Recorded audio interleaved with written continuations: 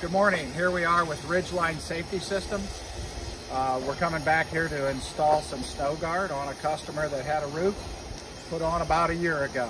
As you can see, two of our employees with cool roofs are tied off, can now safely navigate and install the snow guard that the customer has, has asked us to put on.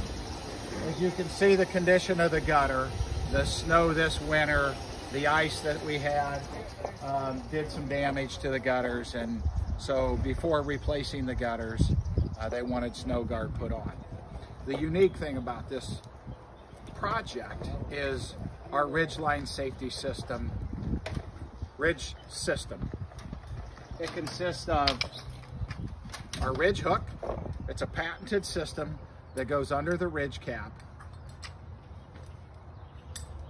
hooks into our anchor that was installed at the time that we put the panels on.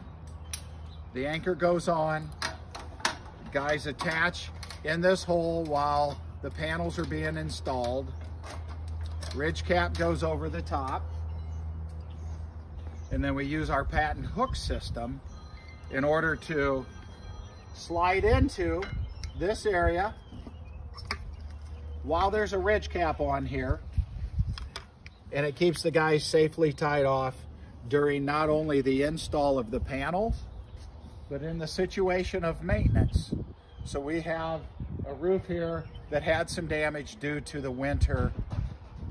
We get some snow guard put on, but more importantly, we were able to go up the gable end of the roof, install one of our patented hooks, and then from there, we were able to put a new one on and take the existing one off and move it over so the guys can safely navigate the roof while installing it.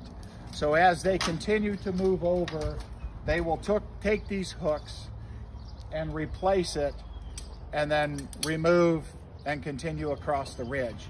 This is again, one way that Ridgeline Safety Systems not only makes it safe during an install, but makes it safe during maintenance situations.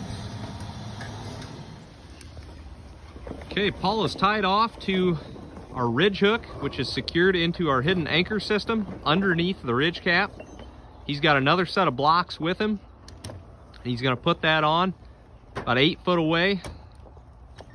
From this anchor, there's another one denoted with a Lowepro screw right underneath the ridge.